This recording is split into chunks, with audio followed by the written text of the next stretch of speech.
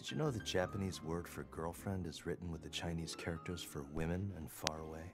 A woman is a far off existence. A river wider and deeper than any ocean separates the two sexes. I don't understand people who are adults.